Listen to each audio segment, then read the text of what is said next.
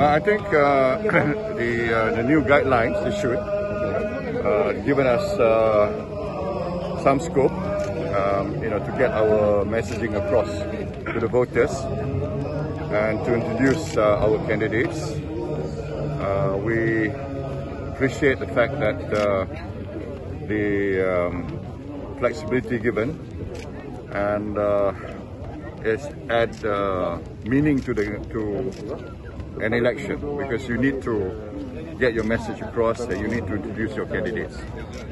And uh, BN is, is uh, has geared up its machinery, and uh, uh, inshallah we'll do our, our level best.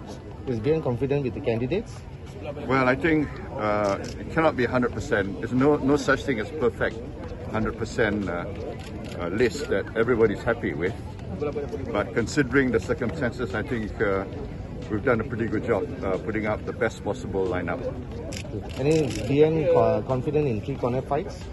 Yes, we are confident. Whatever whatever it takes, uh, uh, inshallah, I think the voters realize that it's important to have stability and competency. I want to add stability and competency and a good track record. And and if you consider these factors, uh, these are our strong points.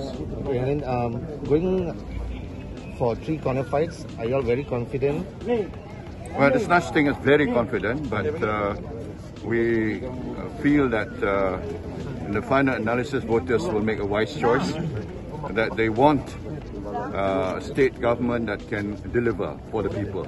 Yeah.